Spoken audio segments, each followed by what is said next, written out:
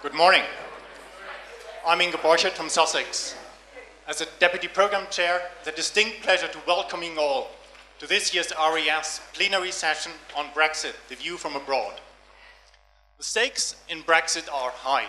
Depending on the yet to be determined uh, conditions, the impact across the economy and across society that matter are potentially large. So it is fit and proper for the economics profession to have a discussion on the issue as the process unfolds.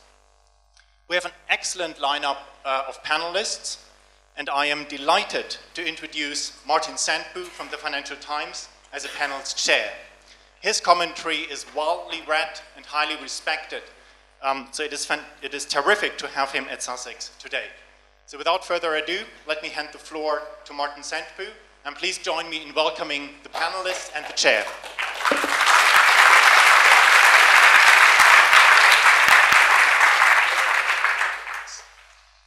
Good morning. Uh, it's a pleasure to be here. It's great to see so many of you here. I hope not too many people had problems with the trains uh, getting here. But we're here, and uh, it's going to be a very exciting session. Uh, all of you, at least the huge majority of you who are economists, will be aware, I think, of the criticism of the profession, um, especially from these student movements trying to reform economics who complain that economists are abstract and otherworldly and don't have anything to say about the big policy issues of the day. Well, they obviously should have come to RES conference because this session is very much about one of the big policy issues of the day. Uh, and I think we will demonstrate very clearly that economists do have a lot to say uh, about Brexit that is both well informed theoretically and immediately applicable and relevant in a practical sense. Uh, now, if you, like me, follow the nitty gritty of the Brexit negotiations in detail every day, uh, you might think that there's nothing new we can learn about Brexit. We sort of talked it to death. Uh, I've had a sort of sneak preview of the presentations, and I'm very excited to tell you that that's not the case. There is a lot more to learn, um, and that's what we're going to do today. Let me just very briefly, not even introduce, but just list our excellent uh, panelists. We have uh, Michael Burda from the Humboldt University in Berlin and Rob Staiger from Dartmouth College, who will give the first two presentations, giving a view from abroad uh, on Brexit. Uh, and then Alan Winters of Sussex, uh, who's, also, uh, who's also set up the UK Trade Policy Observatory uh, and Meredith Crowley from Cambridge will give their responses and their reactions to those presentations. And then, as soon as possible, we'll try to make this not just a set of presentations, but a discussion which will include you, uh, because this will be a topic where you all have something you'll want to say. So we'll try to have as much audience participation as possible in the last bit of the session. Uh, so I'm going to hand over right away uh, to Michael just to repeat what I've told the panelists. I will be quite strict on the timing so that we do leave time at the end for discussion. So you have 12, 13 minutes each. Hopefully the uh, slides will all be on this computer uh, and work well. So please, Michael, why don't you start and uh, we'll take it from there.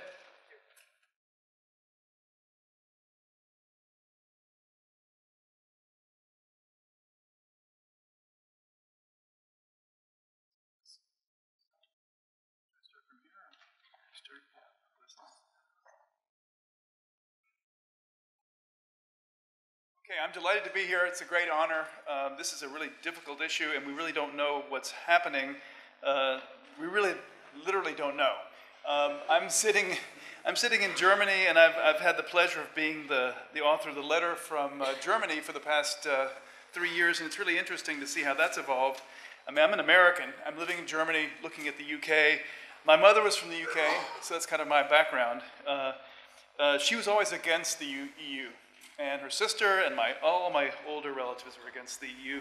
And I've always kind of that's fascinated me, and I think I really this, this past year has helped me understand why that's the case.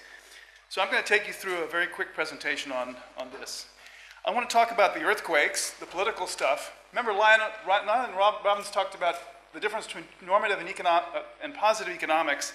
And I think we can't really get our minds around this unless we do the positive economics. What motivated enough people to vote the way they did uh, last year, uh, or two years ago almost? And we've seen this again and again. I think this is kind of a blowback from globalization, and I'm going to spend most of my time talking about the labor market implications. because I think the labor market is the most essential, you know, human existence is very important in general, and people earning their existence in the labor market is, is, is kind of what it's all about. This is coming back to us now, and, and I'm being reminded of stuff I learned about in history, European history, uh, the ghosts of, of the past, and we're seeing this in Central Europe more, more so than in the UK. Um, U- UK has always impressed me as being a very liberal place in the, not just in the economic sense, but also in the tradition of being progressive. Uh, but we see that winners and losers are now becoming so evident, uh, and they're making their voices be heard. So here's my, here's my take on this. I teach this in, uh, at the Humboldt University. I teach a course called European Integration, and it's a, it's a take on, it's a little bit like Baldwin Wyplosz. Charles Wyplosz is a good friend of mine, but I, I go for the factor markets. I'm really interested in capital mobility and labor mobility especially. And I think this is something we didn't pay enough attention to when we talk about the four freedoms and the, um, the, the, the, the, liberalization of, of European activity in general. And I think this is what really is my point. This, my, my brief intervention is going to be about how this has affected political economy in the UK and especially um, places you wouldn't have expected where there aren't any foreigners. Okay? So I'm, you know, this is what I teach in my class, capital mobility, labor mobility, and of course trade. Trade is everyone gains from trade diffuse gains. No one uh, really loses unless you're a, a producer competing with the, uh, with the, uh, with the imports. Uh, we've got other things going on as well. And you know, after, after the 1992 uh, treaty, um, we've seen an acceleration of these forces, and we've seen this setback. So I'm going to talk about, I'm going to talk about the so-called four freedoms. I, I, phrase it a little bit differently from the, the, the wording in the, in the treaty because uh, I think ideas are important, ideas of, of, of, political freedom, for example. But we've, we also got to talk about the other aspects of the EU which may uh, have to be renegotiated upon uh, Brexit. We know it's going to happen now. Um, we're talking about things that don't no one talks about. Common, common pharmaceutical regulation, very advantageous to people who take drugs uh, in this country and other countries. Uh, common regulation of, of universities, standards of, of labor, uh, practices, environmental standards, criminal law enforcement. We've also seen that you know, spy agencies working together can also be very effective in certain instances in most recent days. So, you know, why did, why do we have Brexit? So the political economy, the positive side, why do we have this? I think it's about movement of people. So I, I read this really interesting paper by, by Alan Manning and a student about alienation and what, what this does. And the most obvious form of alienation people have, especially in a country like Europe where we're a bunch of tribes basically, and I've lived in Europe for 25 years now, uh, I, know, I know what I'm talking about. It's, um, Europeans have problems dealing with change. And this is kind of what uh, we see when you look at surveys. You survey people and ask them what uh, turns them off about, about immigration, for example. And it's usually about, it's about feeling about a threat um, a threat that they sort of vaguely associate with trade and goods and services, but they also see uh, their own jobs being threatened, and uh, they feel estranged. They feel like their main street has been changed. This is what, what Alan Manning in his paper has talked about, the fact that it's just perceptions. It's not even, not even necessarily true. I mean, the worst blowback against uh, migration in Germany is coming from places where there are no foreigners. More about the change and the perception. Um, so obviously, it's, a, it's about labor mobility. It's about that being under attack. Um, and I think it's important to, to actually to call a, a, spade a spade. In the United States, uh, we would uh, look very carefully, I mean, especially nowadays, uh, about these types of, of changes. The, the, Germans actually are part of this, the problem. I think the Germans actually, uh, by deferring Polish migration in, in, in 2003, when, when Poland acceded uh, to the European Union and the rest of Eastern Europe, a lot of this, this immigration came to the UK. So the UK bore a brunt of a very fruitful, positive, productivity enhancing uh, movement of people, um, and to Sweden as well. And of course, the Germans were able to insulate their economy for a few years, and, and we see now the, the, things are starting to equalize. I'll show you the, the, data in a second. But the big thing for the UK was this, this recent issue, issue of the, Syrian migration. And I think that kind of brought a lot of people uh, to the realization that um, what's going to happen when these people come, Germany has its next recession, and the people move on. And I think um, you know, we have to deal with this. We, we may not think it's right, we may be against xenophobia, but in the end, it's part of the political economy, and if we don't deal with it, we're going to have more problems in the future. And it's interesting to look at the data. The, mo the most important data that I've, I've, found interesting is the drop in migration net migration as well as uh, gross migration to the UK since, since this vote. Um, and it's, uh, it's quite disturbing. It means to me that, if it says to me, I mean, i have always thought of the EU as being a customs union. Uh, and, and, just after, after I came to Europe in 1987, the, the notion of capital mobility, free movement of capital between Germany and France, for example, was kind of on the table. And then people started moving and recognition of, of professions. These are all very progressive ideas, and you're you're kind of stuffing this down uh, people's uh, gullets in, in a, in, a, matter of decades. It's difficult, and I think we have to deal with the political economy. Okay, so, you know, the perception of, of the loss of industry, loss of high paying jobs, um, we know that we're gaining from cheaper goods, and this country has gained probably the most of all, uh, being a global trader. Uh, the, the, gains are unevenly distributed in the sense that people may lose their, their jobs, and they may lose their familiar atmosphere. This is the Alan Manning point.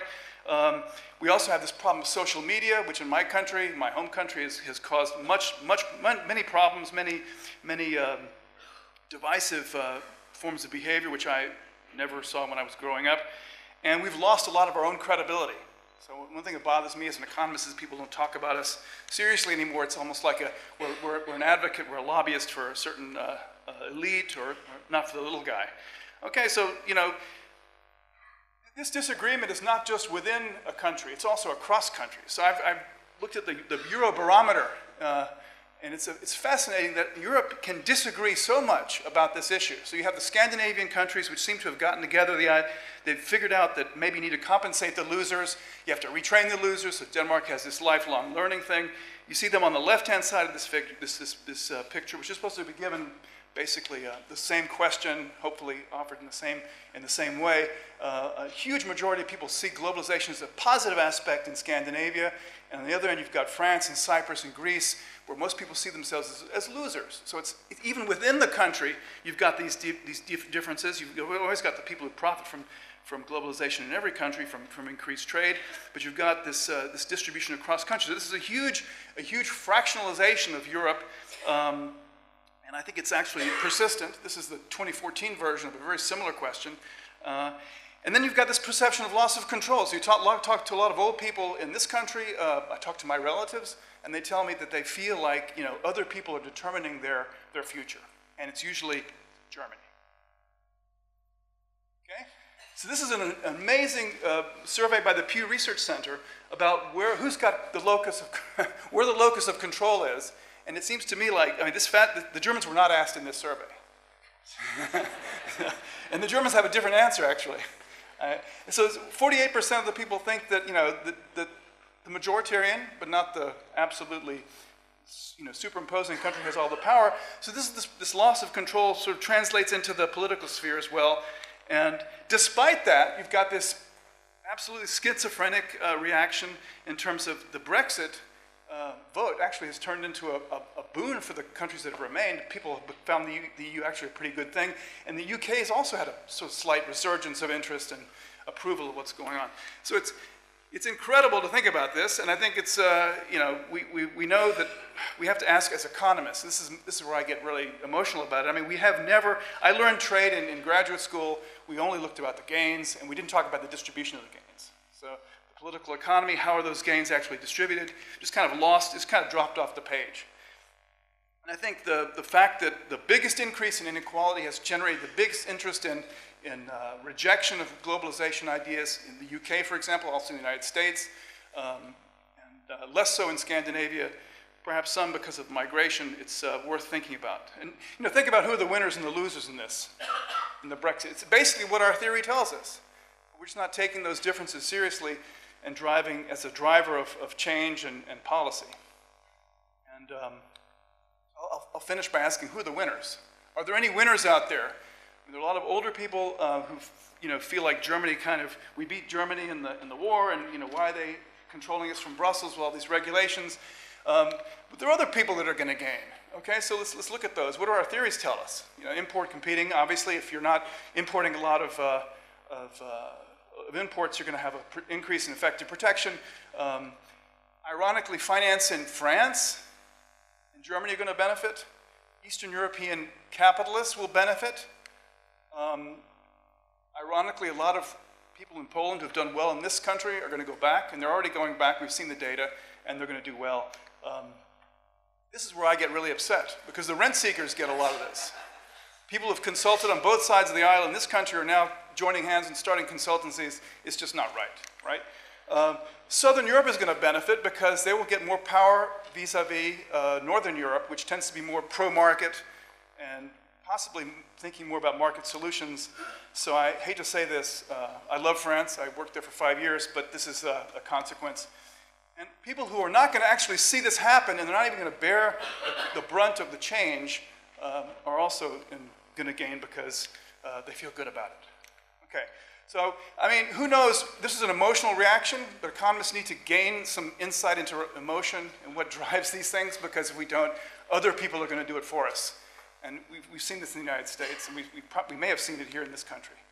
Um, I think Germany is, is going to be a loser because uh, they, are losing the, the ally that the UK, is actually in the press all the time, losing the, the liberal in the European continental sense, pro-market uh, influence. And we're going to see uh, a lot of pressure now on, at least coming from Germany, on France to go a little bit easier on the UK. I, have to, I think we have to start asking, one, do we need all four freedoms? Can we kind of take a slow, a slow boat on the, on the final one, the freedom of labor, if you like, uh, as a price of saving uh, something very important to all of us? I think it'd be a terrible waste of resources, and we'll see this later in the other talks. Remember the motto of the European Union? Does anybody know that? See, you're all great Europeans. this is almost identically the, the, the, uh, the motto of the United States of America. Okay, so let's, let's kind of uh, take another look at that, and maybe we can figure out a way to, to save the European Union. Thank you very much for your attention.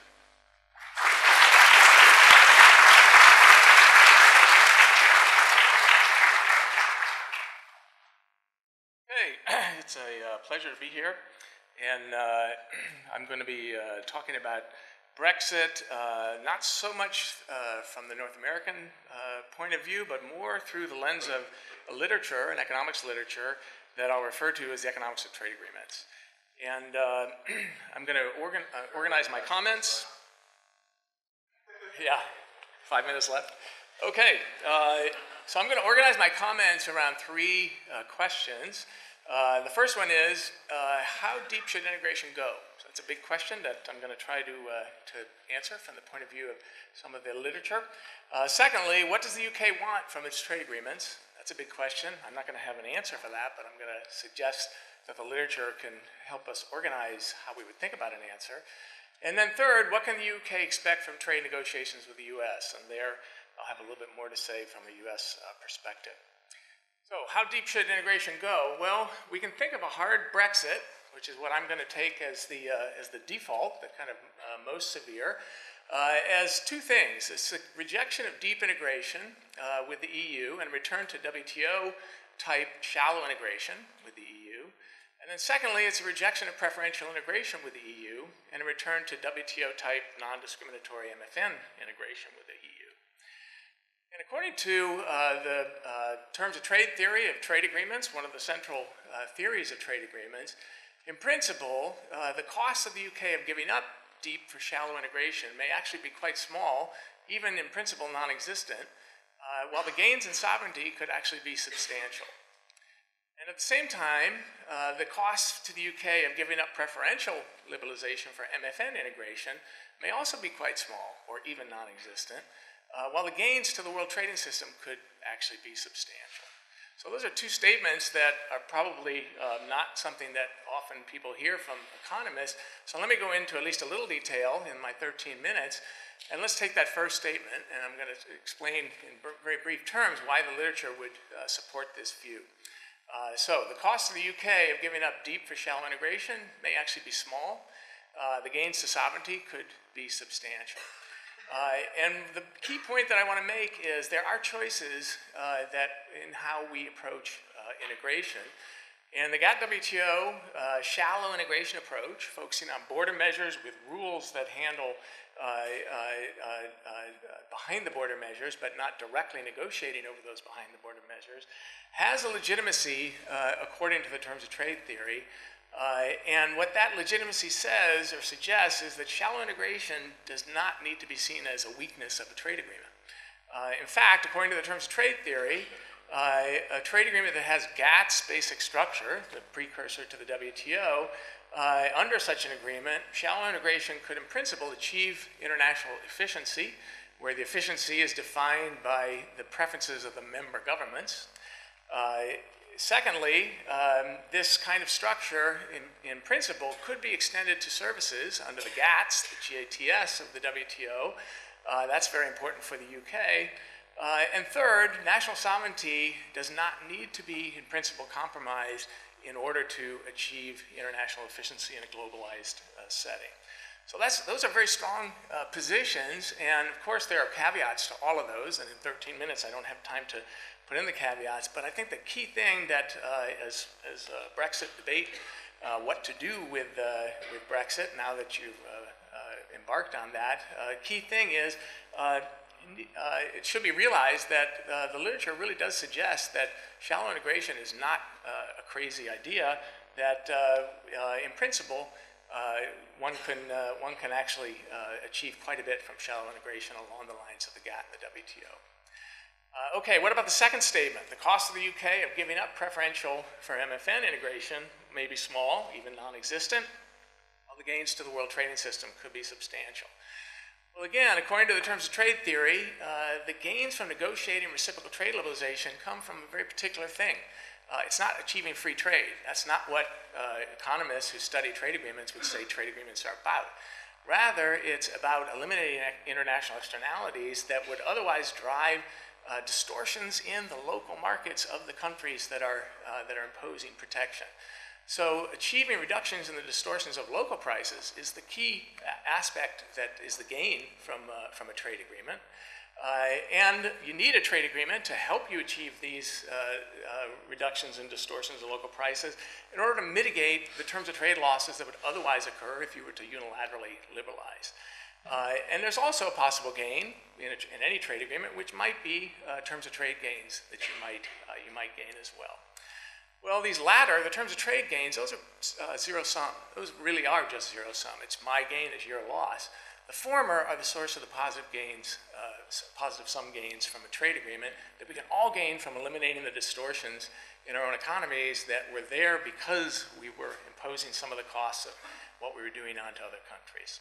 Well, MFN integration, in principle, can achieve all of those former uh, benefits, all of the uh, positive sum gains of a trade agreement, uh, preferential liberalization, well, that may give more uh, of the latter kinds of gains, the terms of trade gains with respect to third countries, uh, but in doing so, it's likely to sacrifice the former, the real gains that are the source of trade agreement gains, uh, and that comes through trade diversion.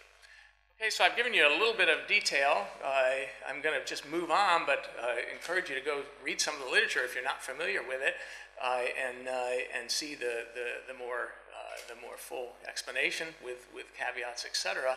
Uh, but what's the implication? Uh, well, if the goal of Brexit is to regain UK uh, national sovereignty while sacrificing minimal economic uh, efficiency, and if the terms of trade theory of trade agreements applies to the UK, then the UK's best post-Brexit option, in my view, is to throw its weight behind a strengthened and re-energized WTO. Because the WTO is that shallow integration trade agreement that is there, that is wobbling, that needs uh, support, that needs improvement, services, GATS, uh, there are many things that uh, would be very viable, very important to the UK that could be strengthened the WTO. And uh, there's, a, there's a direct line of thought from this literature that would say that's what the UK should be doing uh, if it really if it wants to uh, make sense of what it did in leaving Brexit, well, this is one way, or Brexit, this is one way to make sense of it. Uh, is to uh, uh, throw its weight behind, throw its weight behind the WTO. And of course, that's in some sense going back to the history of the GATT.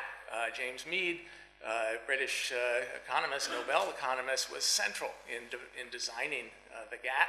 And so it's not uh, as if Britain didn't have a, and John Maynard Keynes, uh, it's not as if Britain didn't have a key, um, a key role in designing uh, that institution. Okay, what does the UK want from its trade agreements? That's my second question. Uh, well, according to the terms of trade theory of trade agreements, countries use trade agreements to internalize the international externalities that their trade policies impose on other trading partners. And those international externalities travel through prices. Those are just the terms of trade, as that's the, tech, the uh, jargon that economists would use. Uh, and that allows them to escape from a terms of trade driven prisoner's dilemma. That's the terms of trade uh, story for what countries are actually doing with trade agreements. There's another uh, uh, well-known and, uh, uh, and, classic uh, theory of trade agreements that I'll refer to as the commitment theory. Under the commitment theory, countries use trade agreements to help governments make policy commitments to their own private sectors, using trade agreements to tie my own hands rather than trying to internalize international externalities. Well, things like limits to state aid, that would be very relevant. The UK may be thinking that uh, by, uh, by being a member of the EU, it has to uh, uh, abide by limits to state aid, and that can help it stand up to its, uh, to its industries and say we can't subsidize. Maybe that's something that the UK wants. If so, that's uh, solving a domestic commitment problem that, that something like the EU would, would help. Okay, so that raises the question. According to the literature on trade agreements, uh, what does the UK want from its trade agreements? Well, to the extent that the terms of trade theory is relevant for the UK, uh, the previous slides that I just uh, uh, showed apply, and the best post-Brexit option is to support the WTO, just as I mentioned before.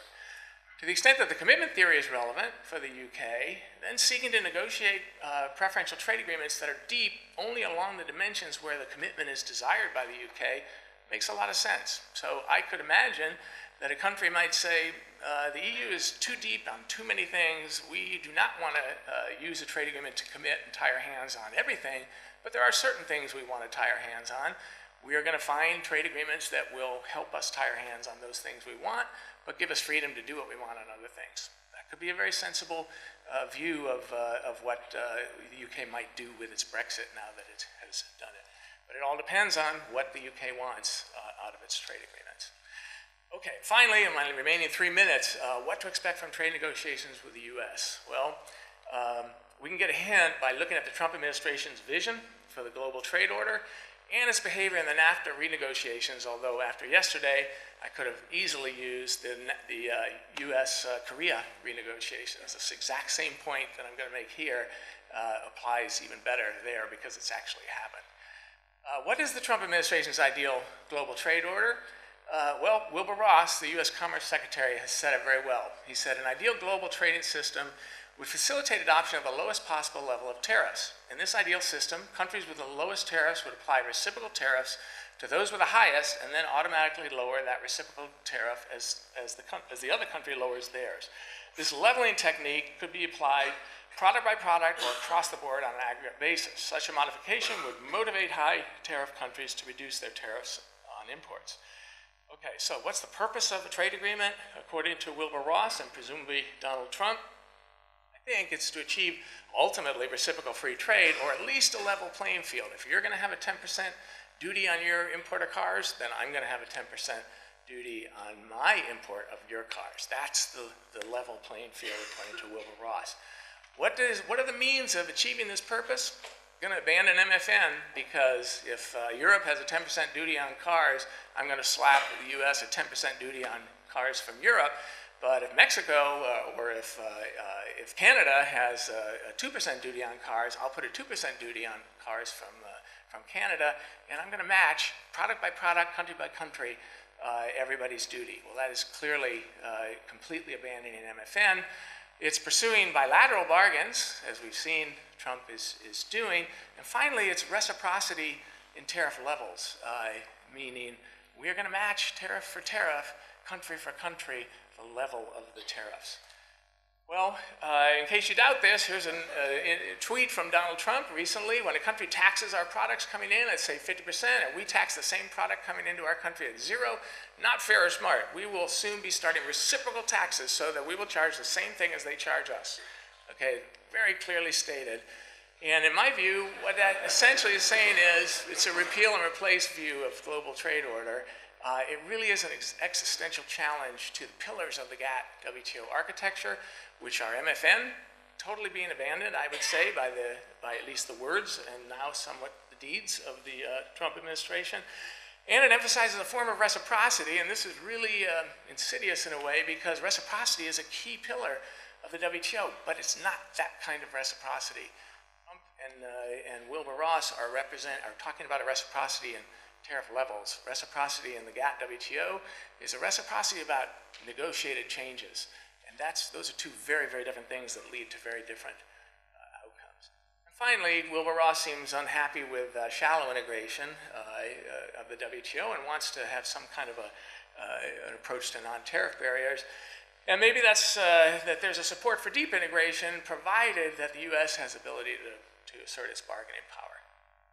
Okay, finally, what about Trump's behavior in the NAFTA negotiations? Well, under MFN and reciprocity, the interesting thing is the, WTO rules, it's a rules-based system, multilateral system, and it actually, while it serves the interests of the member governments, uh, to some degree, those rules are going to blunt the power of the dominant countries. And that's something that has been shown and can be shown, and it's an interesting question of why the dominant countries would have su uh, submitted to this. There are reasons for that. Uh, but what the Trump administration would like to do is assert its power over trading partners in bilateral bargains with things like bargaining tariffs, saying, if you don't do this, I'm going to jack my tariff up on you, and uh, I'm going to use that as a bargaining ploy to get you to do what I want. Uh, and the WTO helps to militate against that because why? Because I can't threaten to raise my tariff above to 25% if my MFN binding is at 2% uh, from the WTO. I can't threaten that in a bilateral negotiation. So imagine what it would be like to renegotiate the terms of NAFTA with the U.S. if the U.S. didn't feel constrained to its WTO commitments. Whoops. Uh, actually, the U.S. obviously doesn't feel constrained to its WTO commitments. Here's Donald Trump uh, crowing about how he has just used the 25% uh, tariff that was imposed on steel to bargain or to help him get leverage to bargain down uh, a good deal for the U.S. and NAFTA. And that's where the U.S. Korea is explicitly that. U.S. Korea has now agreed to uh, certain renegotiations in order to avoid this steel tariff, which is well beyond the WTO commitments, and it's just something that the U.S. has, uh, has done. Okay, final, uh, final statement. Uh, implication, I think, is that the UK's best post-Brexit option is to help strengthen and re-energize the WTO, even if it also plans to negotiate PTAs, unless it wants to be bargaining with a country that uh, is using these kind of threats that are uh, beyond WTO commitments to, to get what it wants. Final advice, keep commenting.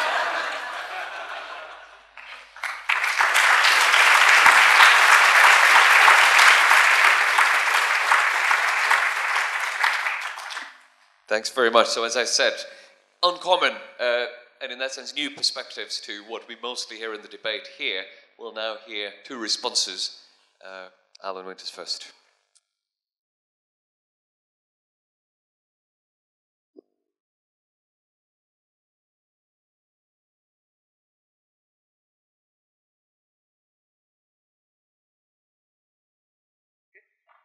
Thank you very much, Martin. Thanks, everyone, uh, for coming. Uh, I'm going to um, jump off from uh, where Bob stopped, partly because I got Bob's slides a few days ago and I didn't get Michael's, but also partly because I want to argue that there's, in Brexit, something uh, slightly more complicated going on. Um, and I am really persuaded that Mr. Trump is probably a more serious thing for us to worry about than Brexit, but Brexit is ours, we can do something about it, and therefore that's, in a sense, where the policy leverage is.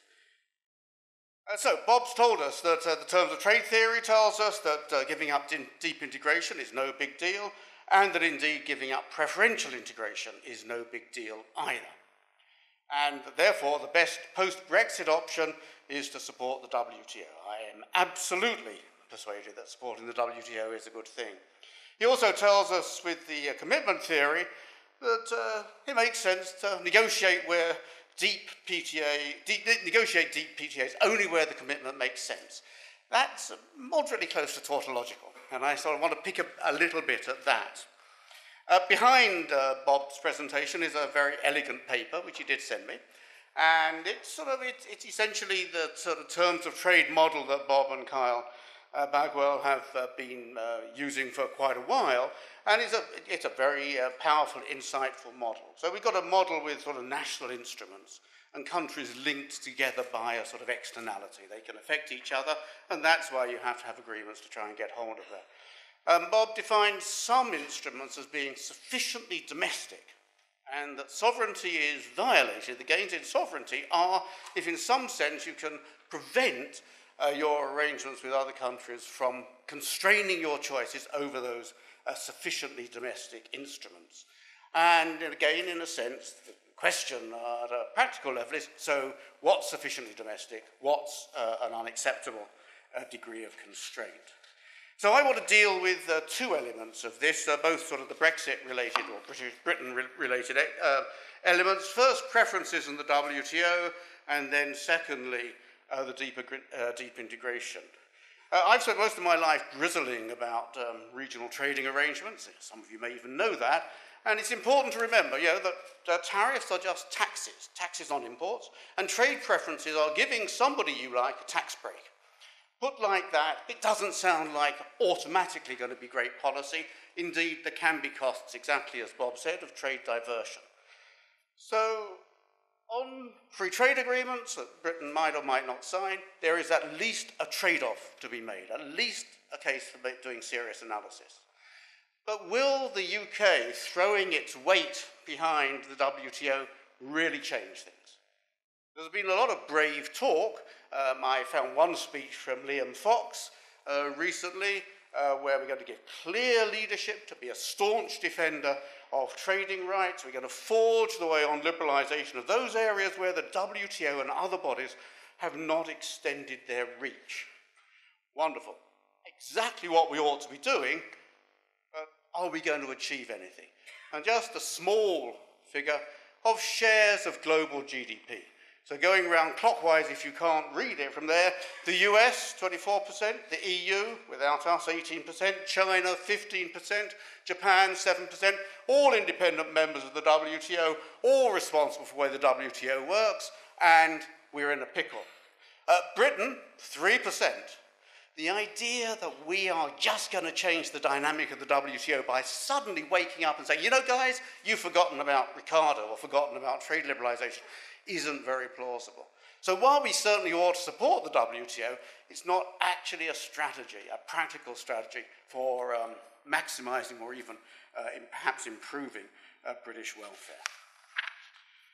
Okay, so the rest of what I want to say is about so when are deep trade agreements likely to make sense? And this is really uh, the nub of the issue.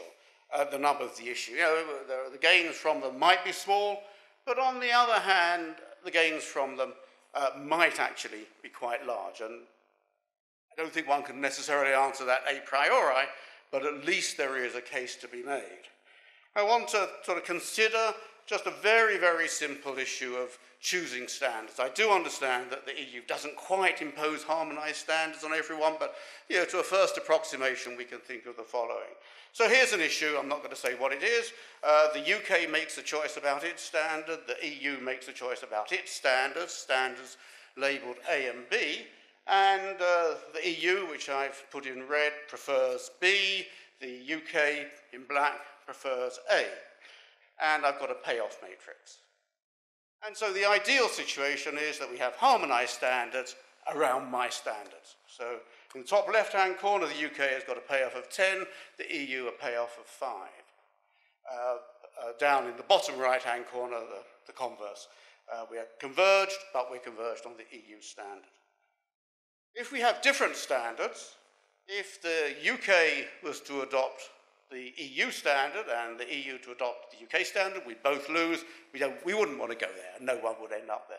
The real issue is this top right-hand corner, where the returns to having different standards are such that I put them down six and six. Little example. The point about this matrix is it's the positions of cooperation where we have the same standard, which generate the most welfare, are not sustainable. Because if you look at the first row, where Britain is, um, sorry, where the EU has converged on the British standard, if for a, uh, for a payoff of five, it could get a payoff of six if it defected uh, to the second column. In other words, here's a situation where there's welfare to be won, but in the absence of any agreement, there's a coordination problem. What does the EU do? What does the single market do? It brings another one of these issues to the table. Now you can see they're exactly the same, identical sort of payoffs, patterns, and so on. But now we can see that there is a solution, which is on one of the issues we converge around the British standard, and one of the issues we converge around the EU standard. Uh, net welfare, we've got optima, uh, the optimal outcome uh, socially in, in both of these markets. So the optimal solution is that we trade, uh, there's a sort of the trade that I've highlighted. But that clearly requires binding commitments. It clearly requires that the EU believes that Britain won't defect on the second issue and that the uh, UK believes the EU won't defect on the first issue. If you think that these standards are there to help long run investment decisions, uh, maybe building stuff, but certainly committing intellectual property and so on, then you can see why having this deep agreement, which impinges on the right to choose standards, is nonetheless uh, economically uh, efficient. So, second dimension is what constitutes domestic. I constantly find it amazing that there's a group of people who think it's absolutely fundamental that Scotland remain in the, Europe, in the uh, United Kingdom, but that Britain leaves the European Union. I just don't get why that is the optimal size. And since Bob's from New Hampshire, is it the US that's optimal? Is it New Hampshire? Is it Dartmouth? Is it the locality where Bob lives? Somehow, if we want to talk about sovereignty, we've got to know over what, what realm we are willing to cooperate because it's good for us. And anyway, actually, when I look at the world, remember that little diagram with 3%, how much sovereignty do you actually get? For sure, you can go off and have your own unique standards, but if it prevents you from trading with 97% of the rest of the world, or only trading on very unfavorable uh, terms, then indeed you actually don't de facto have a lot of sovereignty. So, where's the EU stand on this? I want to just finish off by making a few comments about what Mr. Davis has referred to as CETA. We've done some analysis on this in the UK TPO. The basic point that the EU has is you are either in or you are out. And if you're in, we'll give you a few derogations for really important political things. Britain, as a member, already has derogations uh, the Working Time Directive and so on. And if you're outside, we'll give you a few concessions to be nice to you. CETA gets a little bit of uh, access to certain services markets in Europe, uh, Canada uh, does, and so that you, know, you can come a little bit towards the centre. What the EU has been really clear about is that this sort of UK fantasy in the middle of half in, half out is not on offer. That's the British position. So we might get a little bit more than Norway. We might get a little bit more than Canada, sort of coming in from the two ends, but we will not get a situation that is neither identifiably in or identifiably out. So even if we could get CETA plus with lots of sectoral agreements, we won't, but even if we could, is that equivalent to what we've got in the single market? And the answer is no, it's not, uh, for two reasons, which I will sketch through very quickly. The first is the single market contains a number of architectural features. The first and most important is the European Court of Justice. Every one of us in this room, no, everyone who's a European citizen in this room can institute a law case that ultimately might end up in, some, in front of the same court and be arbitrated according to the same set of rules. That's hugely important, particularly for trading services, which is a, a UK focus, because you pretty much got to buy the service before you work out it doesn't do what it says on the tin. So this single system, free of politics, it's not intergovernmental, it's supragovernmental, uh, gives a great deal of commercial confidence that I won't invest in something and suddenly have it taken away by fiat. Second thing, movement of people. Again, for services trade, vitally important. We could do all of this by internet. Right? We have the technology now that you need not have bothered to come to Brighton, and yet you did. You are proving that face to face contact for services transactions is really important. And we can't get around that. And if you're going to put barriers in the way, make it complicated, mean people have to plan these trips, they're not going to happen with the same frequency. And third, some people say it's the most important, but may or may not be, data transfer. The EU has quite rigorous rules on privacy and data transfer. They're going to become more rigorous in May this year. And frankly, if you don't adhere to those, moving data around, which is the uh, heart of a services, many services transactions, in fact, you know, we're going to find ourselves squeezed out of European um, uh, uh, services markets. Final point, there's automaticity. Again, we have signed into a system that says, look, we will adopt whatever is going on. We may not like it, but if in some sense the collective decision is that it's the right way to go, then we'll go along with it automatically. You do not have to worry whether suddenly you'll find Britain defecting. We're proving that defecting is quite hard work. And therefore, on the sort of day-to-day decisions until Brexit was invented, you know, traders had a pretty, pretty large amount of confidence.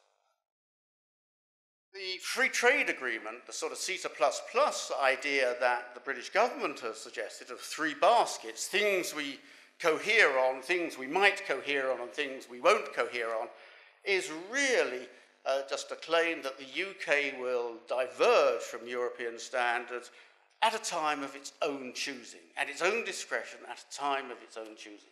That's not the basis on which we're going to make uh, satisfactory long term commercial uh, arrangements. And therefore, essentially, the absence of the single market, even if we have agreements in all these services, is not going to do the trick to which we've become useful.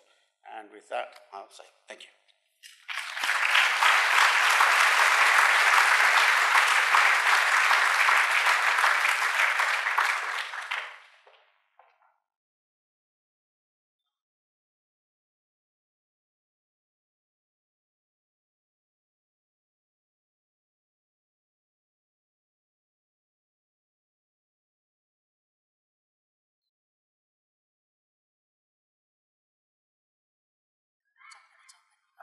The aspect ratio. I'll just do that.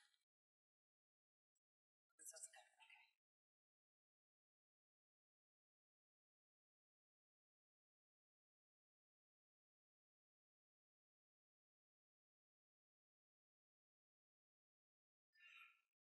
Okay. Um, wait a second. Is, is Brexit a good idea? Because I, I thought we were on a page that it wasn't. Um, we're in the midst of a huge backlash against globalization. I think one of the really interesting things is that the common thread running through both Bob Staiger's comments and Michael Burda's comments is wait a second, maybe the British are onto something here. Um, Bob has emphasized that the costs of leaving a deep agreement, deep integration with European Union, might be small relative to the gains that could be had increased sovereignty and increased control over a wide range of economic policies. Michael has pointed out that while globalization has brought benefits throughout Europe, throughout the world, when we look at labor markets, there's a lot of workers who aren't happy. In many cases, the little guy has been left behind. Okay? And so the question that I think Brexit is raising, and it's a very important question, is has European project and is the depth of European economic integration, has it gone too far? Policy prescriptions, if we think that maybe European integration did go too far, or at least it proceeded at a pace at which populations in Europe were not really prepared to cope with the pace of integration, is that you know Bob recommends well maybe what needs to happen is what we learned is that Britain could step back from deep integration with the EU, where they've integrated over many, many different dimensions, and switch its focus to developing and extending and deepening, or extending its participation in a shallow multilateral agreement like the World Trade Organization. That would give the country more sovereignty. There are still issues at the WTO, but that might be the best way forward. Michael has said well, we have these different pillars of what the European project is. Maybe what Brexit is highlighting is actually free mobility of people was too much too soon. It creates real costs, and maybe the way to save the European project is to give up on freedom of movement and save the customs union and all the benefits that come from goods and services market integration. Okay. So, in general, I do think that when Britain leaves, because it seems like that is going to happen, I think Bob is giving the right advice, which is the way forward for the UK should be to seek integration and support for multilateral organizations, multilateral agreements like the WTO. Because the benefit of a trade agreement, as he said, is removing distortions caused by a variety of different policies local in removing domestic distortions. If we go down the route of having a sequence of bilateral trade agreements with every country in the world, all we are doing are multiplying the, the local distortions that trade agreements were intended to get rid of. Okay?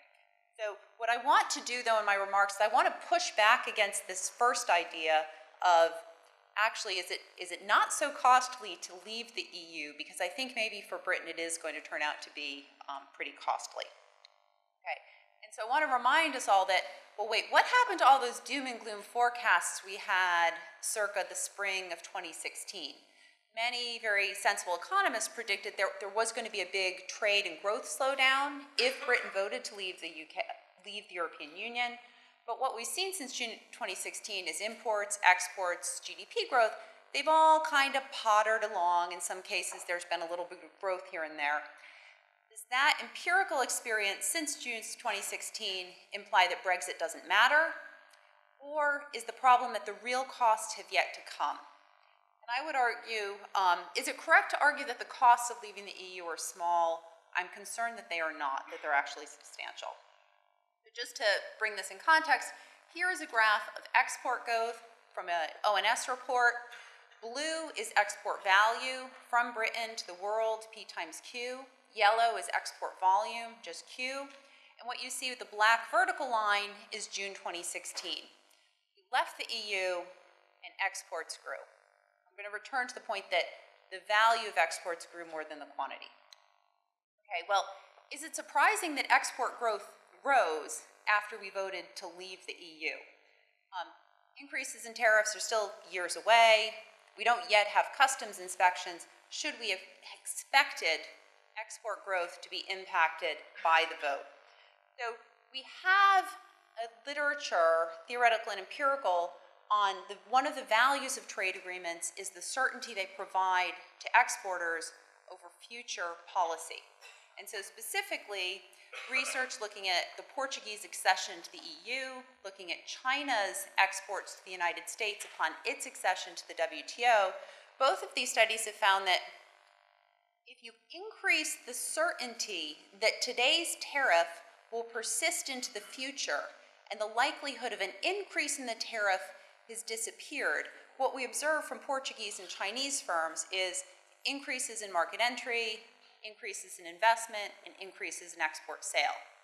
We look at the other side, so I've done some research looking at what happens when the level of the tariff doesn't change, but there's an increase in the threat of future tariffs against Chinese firms in the context of anti-dumping, we find decreased entry by Chinese firms into foreign markets.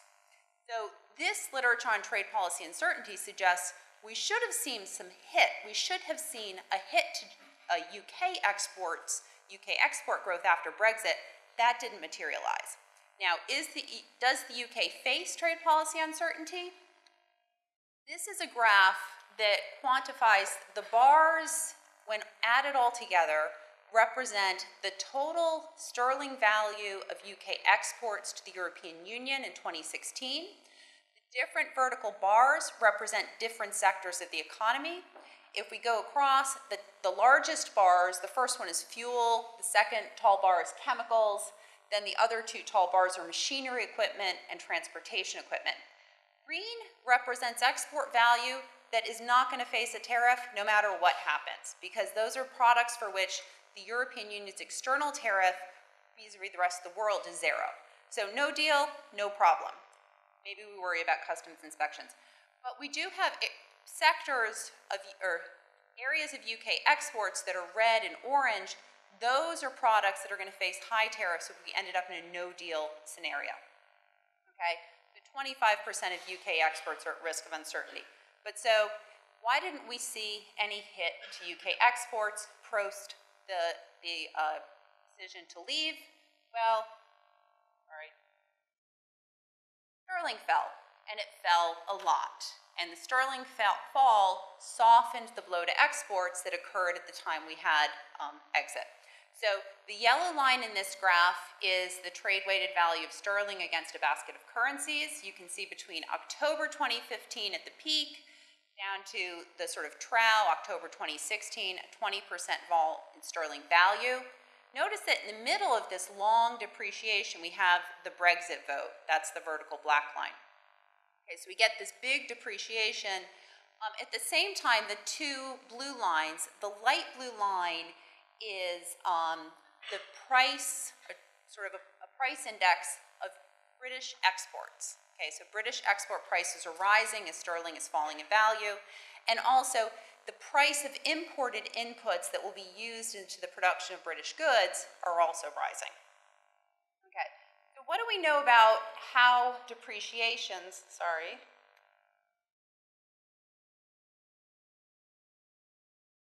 updates are pending. Let's do those later. So we have these two opposing forces acting on exports potentially. Increased over uncertainty over trade policy might have deterred some export growth. The sterling depreciation provided an offsetting boost. What, what impact does a 20% devaluation, depreciation of a currency have on export grow, uh, export volumes, what impact does it have on the little guy or labor? Well, what we saw was very little increase in export volume despite a very large depreciation. So what we didn't see was any translation of this big depreciation into a big manufacturing job growth. Well, why? This brings us to the exchange rate disconnect puzzle. If we think about exporters that have market power in the goods they export, their price and their quantity are a strategic decision. So what they do in response to depreciation is strategic. We've got lessons from abroad, previous studies that have looked at micro firm level evidence from Belgium, France, and China have tried to help us understand how do firms respond to big movements in currency. So I'll, I'll talk just about, um, in the interest of time, the evidence from France and the evidence from China. So in French studies, what we've seen is the most productive French exporters, in response to a depreciation, raise their markups more than less productive French exporters, and they also increase their export quantities less than less productive exporters. Okay, so what they do is they, they adjust prices, they grab profits, and they stabilize output in terms of the export side. When we look at Chinese firms, we have a similar um, way of approaching this. Market power of firms depends on the nature of the good traded, and the products matter. Firms that are exporting highly differentiated products raise markups on good on those goods more than exporters selling less differentiated, more commodity-like products. Further, if we look at how quantities respond to these markup changes, we see firms that are um, exporting highly differentiated goods, they don't raise quantity much. Quantity is relatively inelastic in response to big markup changes. Okay, so just to elaborate on this point, Product market competition depends on the type of good. These are two differentiated manufactured goods that China exports. One is tomato paste, one is tractors. Firms hold similar amounts of market power. You see, this is a graph that shows export price dispersion of three firms in China. Triangles are one firm, circles are a second firm, squares are a third firm, y I'm sorry, the x-axis is price dispersion in 2007 relative to the firm's mean price of that one product across all destinations. The y-axis is the same firm, its price dispersion in the following year, 2007.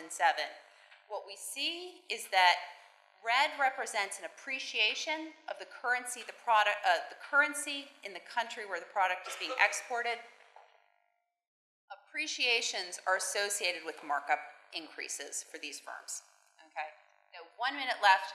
What we see again, just to sort of hammer home the point, highly differentiated goods, we see big markup adjustments when we face big depreciations. So if we want to bring this back to what happened with Brexit, exporting firms adjust markups. when firms have market power, they raise domestic prices in, in sterling, they raise markups to specific destinations, but they stabilize quantities. They book the profits from the depreciation, but the question is, what do they do with those profits? And in particular, if we think about Brexit, what have firms done with the profits they made from the large sterling depreciation since June 2016? Did they invest? Are they developing new products? Are they raising the wages of workers? We don't know, but one of the big problems here is firms seem not to know what to do with those profits because they face a lot of uncertainty about what's going to happen in the future. Okay, and so to wrap up in I think 30 seconds, one of the concerns here is that the prolonged uncertainty about what British firms can do, what markets they'll be able to reach, is having feedback effects on investment. This, in a sense, could be the hidden cost of Brexit. There's investment not taking place today that's going to have longer term, in a sense, hidden costs tomorrow. Um, and so the big caveat I'd like to make about some of the points that Michael and Bob made is we don't want to be too relaxed about the costs of leaving the EU because I think they could be real and significant. Um, and so I'll finish there. Thank you.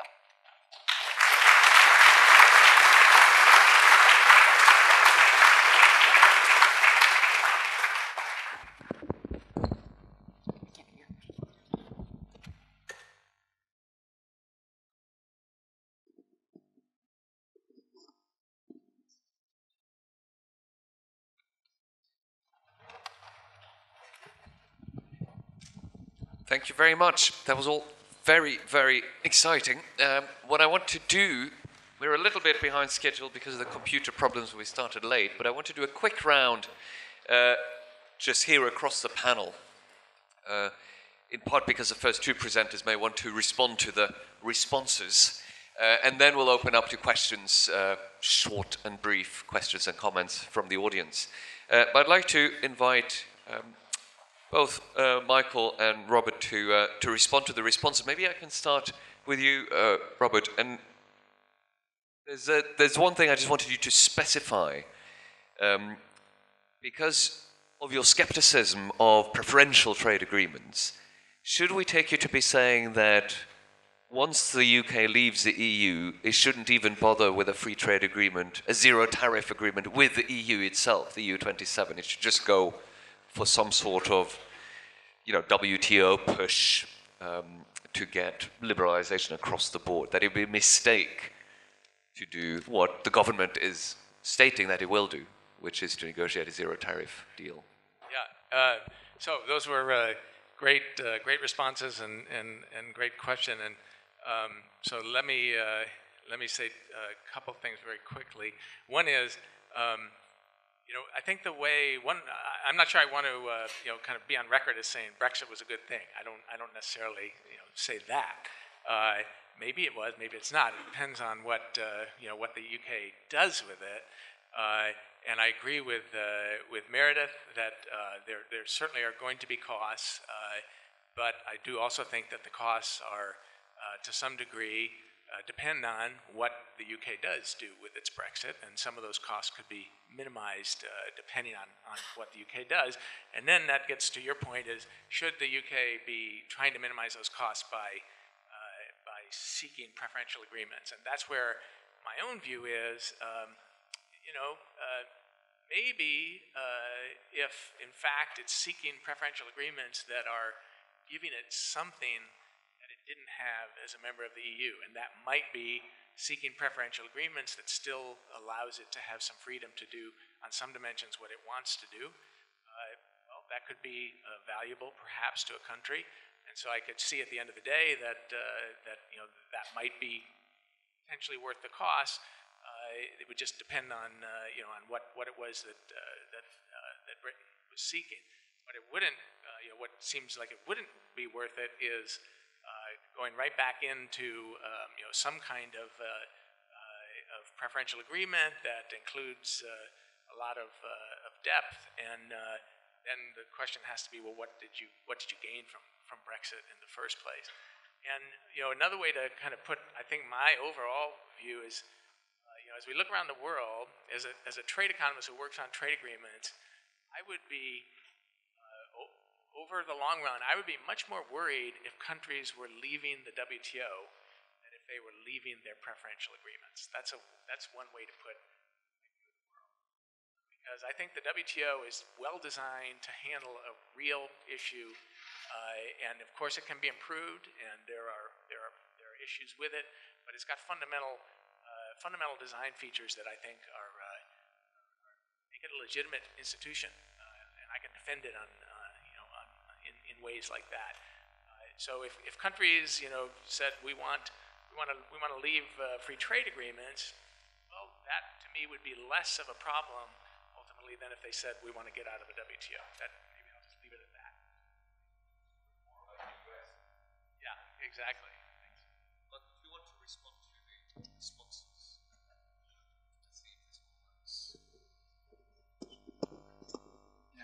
Just, just briefly, I, I'm sorry you didn't get my slides. I, I sent, I think I sent them to you, but uh, uh, no, no, no matter. I'll jump in. I, I think um, uh, these comments were fantastic, excellent, uh, deepening my understanding.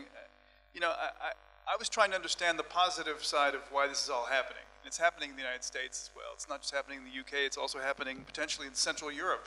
Uh, there's a movement in Germany. You know, so who knows what's what's happening around the corner? And given that tr- trade and services is very hard to distinguish between migration and a lot of what is going on right now is Polish workers are being posted in Germany and the UK. Uh, it's it's going to have a huge effect. Um, I think for the UK to leave uh, will have a big effect on European labor markets on the continent and I, you know, both positive and negative senses. I think uh, Polish entrepreneurs will have uh, much cheaper labor as a result, uh, and Poland may develop in a very different way than it would had uh, the 800,000 or 900,000 that are currently in the UK right now uh, stay and continue to improve the quality of your plumbing and your painting and your interior decorating. Um, these are things that uh, you know very deep deep points. I, I like the idea of of, of, of, of, of, WTO also as just a way of tying the hand of policymakers. So you know, Trump has shown us that this is im- im- impossible to control. In the end, they just do what they want. Politicians will do what they want. So we have to understand why people are not getting uh, what they what they deserve. And I think the the fact that enough people support the Brexit movement means we have to pay attention to the losers and understand their pain. And if, if, if you know, I don't think it's all imagined. And the little guy um, hasn't seen it yet, and I agree with you completely. I think it's coming. Uh, uh, the depreciation will continue long enough to postpone the, the inevitable, and it may come out to be much uh, much worse. But I'll we'll come back to that in a second. I think I think. Thanks. Uh, Alan Meredith, if you don't mind, I'm going to take a few questions just so we don't run out of time prematurely, as it were. Uh, so I'll, I'll just see if there are, let's see, how many questions, how many people are. Okay. Uh, so I, I'm going to just do three. The, the two people next to one another up there, and Chris Giles.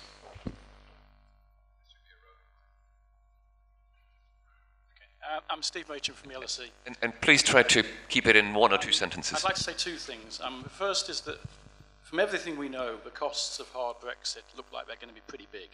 Uh, they're not small at all.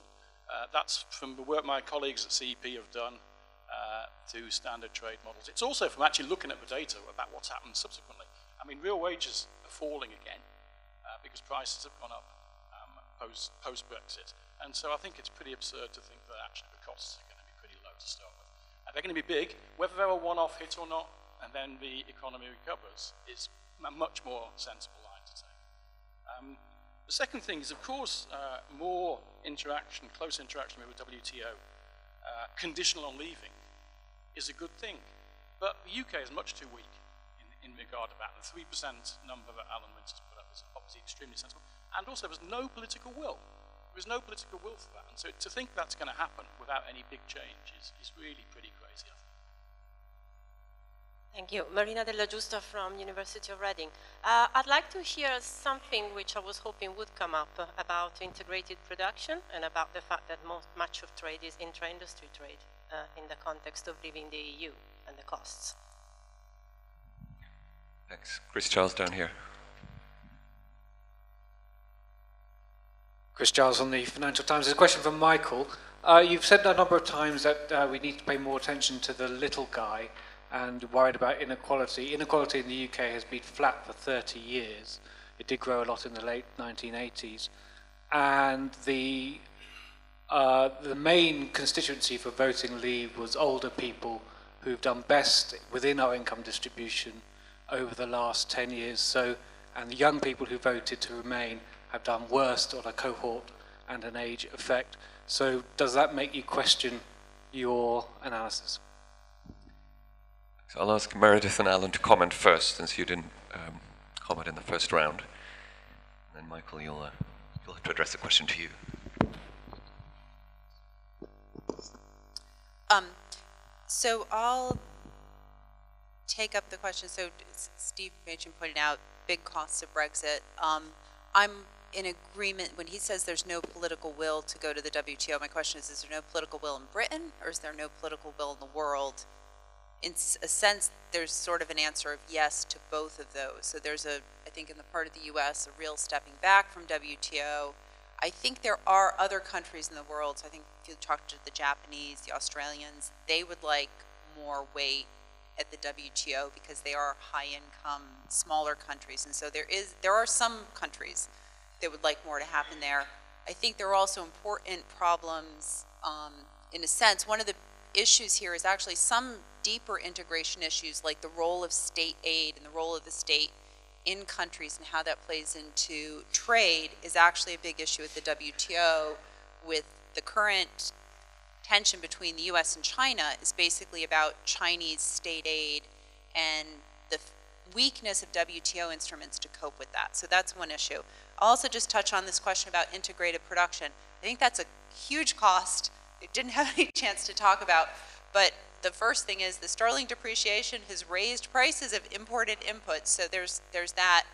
When we have time delays at the border from customs inspections, this could be very damaging to UK production um, because it is integrated in these supply chains. What does that mean in terms of policy? Well, going forward, it is going to be vital that whatever is negotiated allows for accumulated rules of origin. Um, so one of the more positive things I've heard recently is the Japanese Business Association has come out and said they want European FTAs with respect to China, uh, with respect to Japan, to automatically accumulate all of the rules of origin with the UK. So the Japanese position is we want to continue to treat the UK and Europe as an integrated market for tariff purposes, and we want accumulation. So there's there's some evidence that that will happen. So I'll, I'll stop there and I'll leave um, Chris Giles' question for Michael. Uh, yes, if I could. Um, so I agree with Steve. Thank you, and I won't say anything more. Um, uh, the, on integration, uh, on integrated production, exactly as Meredith said, huge problem. I think it's not only um, a question of sort of rules of origin and accumulation. The thing that was worrying, I think, um, most um, uh, uh, people in integrated production chains is, in fact, the, um, uh, the potential time uh, involved in, in, crossing borders. I've seen recently some very, very alarming figures about, um, even with, uh, say, the Channel Tunnel, how much delay there might well be unless we invest hugely. Um, we've become very used to sort of just-in-time delivery. Uh, just-in-sequence delivery apparently is that on steroids, and uh, it is the case that the reliability of the Channel Tunnel, in a sense, in terms of not being dependent on weather, generally evading most of the queues, has become quite an important part for a number of sectors uh, in the production. Uh, and so I think it is a huge, huge worry there was a report last week by something called CIPS, which is the Chartered Institute of something or the other, uh, who do uh, production chains, and they said one in seven companies is already starting to resource. Um, and it said that there's a generalized, a sort of rather suspicion in Europe of relying on British companies. I mean, if, it, if one in seven really is, is moving now, and there's a more generalized suspicion, uh, in a sense, difficult to pick up in the modeling, but it, it, it could be very, um, uh, very disruptive for intermediates trade indeed. So, I, uh, yeah, the little guy. Um, I have different numbers. The numbers I have from the OECD say that the in increase in inequality of Gini um, in the last two decades has been the highest in the UK and the United States. It's risen, yeah, I mean, we, we can show data afterwards, but uh, it's, it's risen the least in countries, you know, like in the Scandinavian realm. And I think that has to do with, uh, again, compensating the losers in some sense, be it, you know, lifelong learning or uh, retraining programs. The, the Germans have, have actually been very successful in the Hartz reforms, avoiding increase in poverty, despite what you hear in the political discussion. Actually, the data are quite, quite impressive on that. They haven't had any, they're the ones that haven't had the increase in inequality since the, since the 90s, or since the, since the late 90s. So, and as far as the old people versus the younger are concerned, I think this is a great example of where you don't want to let uh, democracy go too far. I mean, in Switzerland, people are trained to do this. They vote every other weekend on everything.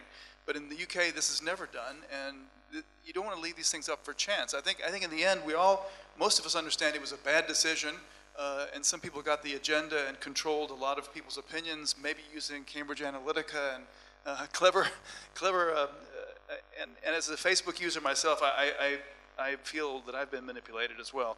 But um, we can't, we can't, um, you know, I think we have to maybe revisit to save this. I think saving the customs union is the biggest gain. I mean, I, I, I go with the trade integration so deep now between Germany and the UK. People, I didn't get to talk about this, but I'm, I'm very concerned about that. And, and German, German, uh, Germans are, are, are going to lose an ally in, uh, in Brussels as well, which is which means a lot.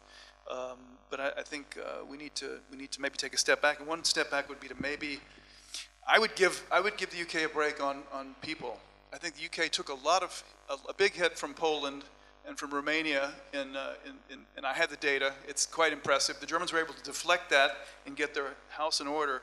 And now, of course, the interest is to go back to where they came from because they can do great over there. So there's got to be some second best out, out there.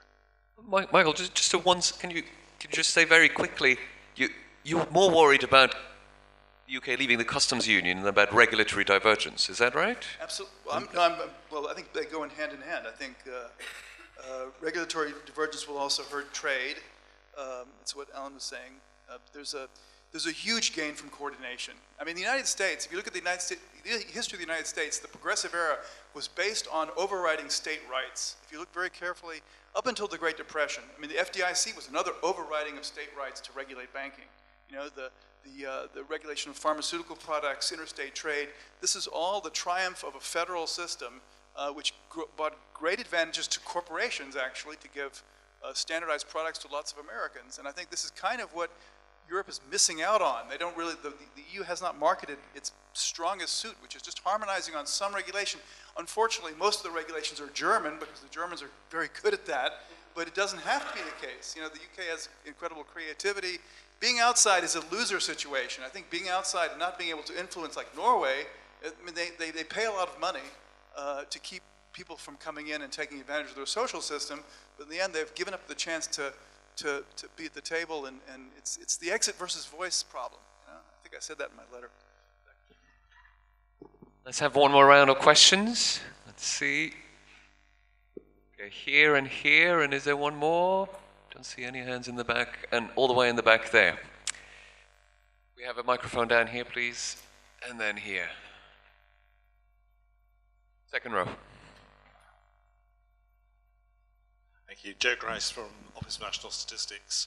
Um, my understanding of uh, the inequality figures was actually rather similar to Chris Giles, but I don't think either way that actually affects your point, Michael. The elephant in the room that didn't really come out of the discussion for me is we've had an economy which for 60 or 70 years systematically made better people better off. We've now had 10, 12 years where people haven't got better off, where productivity has been more or less flat. So there are more uh, losers and less winners as compared to where we might have been. And that seems to me to be a pretty powerful dynamic for the kind of decision we had. And I just wonder whether going forward, then the real issue is not so much about Brexit per se, but what do we have to do to get the economy to start producing better living standards again? Uh, it's been quite good at producing jobs, by the way. We've got lots of jobs. People are actually not paid that well as compared to where they might have been. Productivity gap is now 20%, which dwarfs some of the figures we've been talking about. Brexit, post Brexit policy might be part of that issue about how we get the economy to start making people better off again. But it might turn out to be a very partial, if not marginal, part of the consideration. I just wonder if the policy focus hasn't got a bit kind of uh, bedazzled by Brexit as opposed to the wider question. Thank you. Yeah, please. Yeah, I'm, I'm Paul Welfens from the European Institute in Germany. Um, I'm wondering, I mean, what is the, the logic of uh, going for a WTO integration when the United States at the same time is undermining the WTO? I mean, the appellate body will not be active as of 2019, so I do not understand the logic. Then there's a second point which is uh, which hasn't been mentioned so far, and this is foreign direct investment. Actually, as, I, as I've mentioned in, in the book, uh, An Accidental Brexit, and, and highlighted, I mean, everybody talks about the cost of Brexit in terms of what is the decline of GDP, but it's what is the decline of GNP? And if, for instance, yeah, now the share of foreign ownership in the UK capital stock is 16%, and in 2025 it will be 30%, then you will transfer 4.3% of uh, national income to the, to the headquarters abroad. So foreign direct investment, of course, is then part of the multinationalization aspect. And final question, I mean, when you, Michael, talk about the question, you know, the influence or the question about um, the perceptions of globalization, I, I, find there are these surveys from the US which show that people overestimate grossly the uh, degree of globalization. And then I look at the digital social services and I find we economists, we do not explain enough. We leave the field and the internet to crazy people who get a lot of followers and, and here we have a gap. Thank you very much. You, you, did, you did talk about perception quite a lot. One more question uh, at the top there. Thanks very much. Peter Holmes, the uh, Sussex UK TPO. Um, my question is partly actually directed at Martin. Um, it's whether, in order to deal with the adverse political reaction to globalization and so on, the right approach is targeted uh, trade adjustment assistance or European Globalization Fund, or more general uh, for example, basic income, or does the answer lie in the labour market? If you ask me, I, I say all of the above. Um, I'm going to, uh, I will actually say all of the above, but I, am just going to jump off from that question to point out that all the questions were really a form of what on earth do we do now? Uh, which may have little to do with the exact form of Brexit and much more to do with appropriate kind of big uh, domestic policies. So I think I'm going to kind of package all the questions into that form. What should the UK or other countries in a similar situation do now in order to deal with these frustrations that, as you point out, exist everywhere? Um, so I'll ask the question, a sort of summary question in that form, and let all of you kind of put into that what you wish as your concluding comment. So I'll just take it from Meredith and go along the table.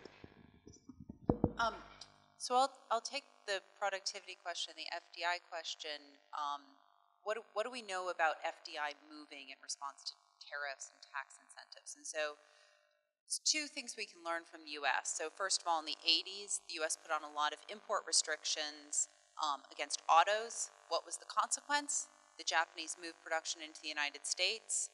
Um, we still produce a lot of autos by Japanese-owned firms in the United States. In some sense, this was very good for the U.S. because it, you know this is how we got better technology, better manufacturing um, work. In some sense, though, what that tariff did, I think, is just drew forward in time investment in FDI that would have happened anyway, because what the Japanese brought to the U.S. were types of vehicles that didn't exist in the United States and weren't being produced there. So they were filling a market niche. So the question with Brexit is, if the EU ends up putting on very border barriers, either tariffs or just delayed time costs, are we going to see the FDI that is in, currently in Britain jumping into France or jumping into Poland. Um, that would have negative productivity consequences. The other thing we can see from the US is if we look over time at the distribution of manufacturing activity, I think one of the things that we don't think enough about is international tax competition.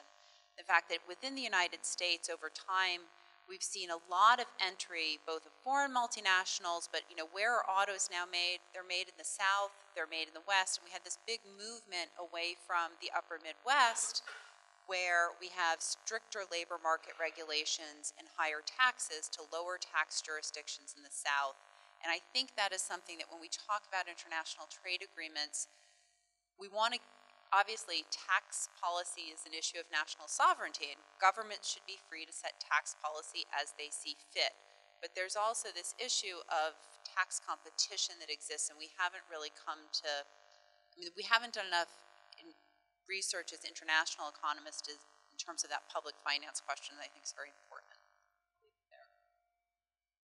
Yeah, I think that's a great, uh, a great point. I'd like to support that. I think this is a great opportunity for the UK to give us some more data because they're definitely going to cut taxes as much as it takes to get the FDI to come back. Um, and I, I, you know, maybe that's a good thing. Uh, there, there, are people in, in, on the continent that think that, uh, that the French approach, which is to harmonize taxes in a lot of different areas, is a, is just going to raise the average level of taxes and distortions. Uh, I just wanted to answer your point about, I agree completely, I, but this is a macro question. Why, is pe- why has productivity growth slowed over the past two, or three decades? And I really do think it has. You look at the, any data, even in China, TFP has slowed down in, in growth. And I think when you have less to share, um, you have less to, so uh, you really do have a zero-sum game. And I'm, I'm, I'm concerned um, the, way, the way the world got out of that in, in the 1930s was World War II. You know, this is not what we want to have. Uh, but it's clear that a lot of government spending in, on projects that have high productivity uh, spin-offs uh, is, a, is, a, horrible way of doing it. But I'm afraid, uh, you know, we have to be concerned about that. I think more interesting would be for, for the UK to stay in the European project. I think European, Europeans are very creative, and uh, the, the, EU uh, needs the UK. The educational sector is an incredible lighthouse to all of us. You know, I mean, I I send my best students to, to the UK and, uh, and the United States, and I'm very proud of that. And this is where the, the new ideas are coming from. If you want to get TFP growth up again, we gotta we gotta get more money from Brussels to the, to, EU, uh, to um, UK universities, not less. I think everyone here is going to agree with that.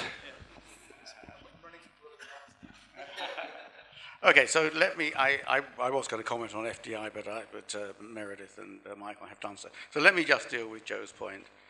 Um, it is very clear that there are bigger problems in the world and bigger problems in Britain than Brexit.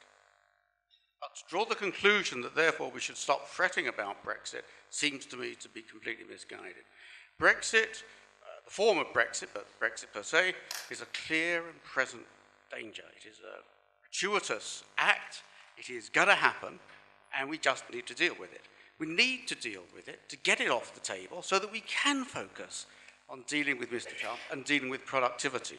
So it just seems to me, you know, that, that I entirely agree with you, but would have exactly the opposite conclusion. I would say let us just focus on trying to get Brexit sorted and out of the way. Uh, in or out, however, and then let's deal with some of the real problems. Mrs. May, when she became Prime Minister, made a wonderful egalitarian speech in Downing Street about the just, you know, the just managing and so on. What's happened? Well, exactly. Just, just distracted. It's very, it, Brexit has a series of costs that are actually a lot broader than just the stuff that we as economists can get hold of. So, you know, keep saying what you're saying, but um, I would draw a different, well, I would make sure the conclusion is the right one. okay, uh, these are great, uh, great questions and comments. And uh, uh let me just uh, start quickly with the, the cost of Brexit. And uh, I agree completely. There are good, um, estimates out there, quantitative models that have been used by people to, to, to calibrate and estimate these, these losses or costs.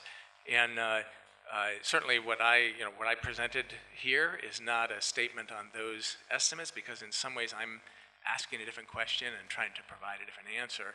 Uh, those uh, are, are looking at um, uh, you know, what would happen or what will happen in Britain uh, when it leaves the EU under various scenarios. Um, and of course, at least my understanding of those estimates is uh, much of the cost is on non-tariff barriers and what's going to happen with non-tariff barriers those things are very hard to quantify, as we all know. So we all, of course, have to take with a grain of salt the numbers that are that are there. But that said, my uh, my statement here is really not that counterfactual. It is rather uh, in a world where we have um, uh, deep integration agreements, if a country were to instead replace that with a well-working shallow integration agreement, how costly would it be? And there I would stand by the statement that in principle, it need not be that costly. So that's a very different, you know, I don't want to go on record as saying I don't think the actual cost of Brexit uh, is, is high or that these models, uh, modeling are, are done poorly. I think they've done very well. But so I just want to be clear that my, my thought experiment is a different thought experiment. Having said that, uh, other points here that have been raised are really important, and that is, um, uh, you know, the WTO uh, is in trouble, and uh, the U.S. is uh, is really backing away. And it didn't start with Trump, unfortunately, uh, as was pointed out here. it happened under the Obama administration with the beginnings of the appellate body lack of support for for putting in new appellate body judges, and and so there is a real question of who, you know, where is that support going and who, who is going to stand up uh, to support, support that institution?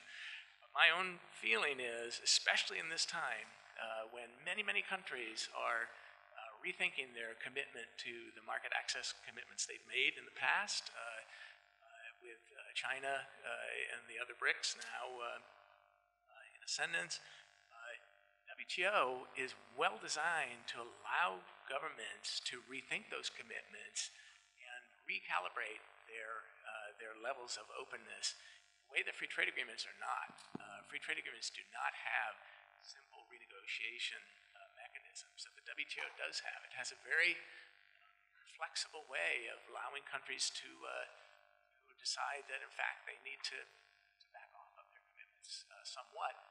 Do so in an orderly, that's the key, is that the WTO provides this legal mechanism uh, for, uh, for doing this. And, and to the extent that Trump and others uh, are beginning to, to uh, threaten that legal mechanism, I think that's the real cost of, uh, of the decline of the WTO.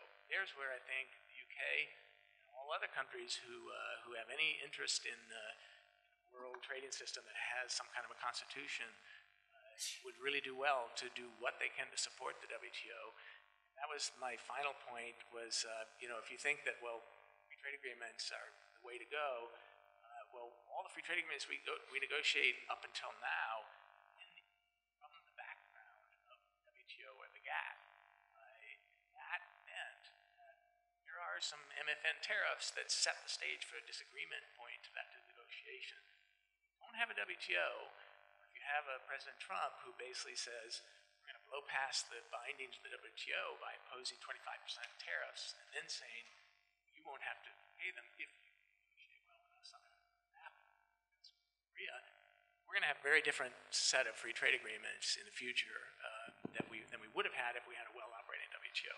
So that's, that's my view is that you know, the UK can actually do something and the US needs to do more and all other countries. It's in their interest to so, whatever the disagreements may be here, everyone seems to be united against uh, Trump's sabotage of the WTO. Uh, Meredith, Michael, Alan, uh, Robert, thanks very much. Thanks to all of you as well. Enjoy the rest of the conference.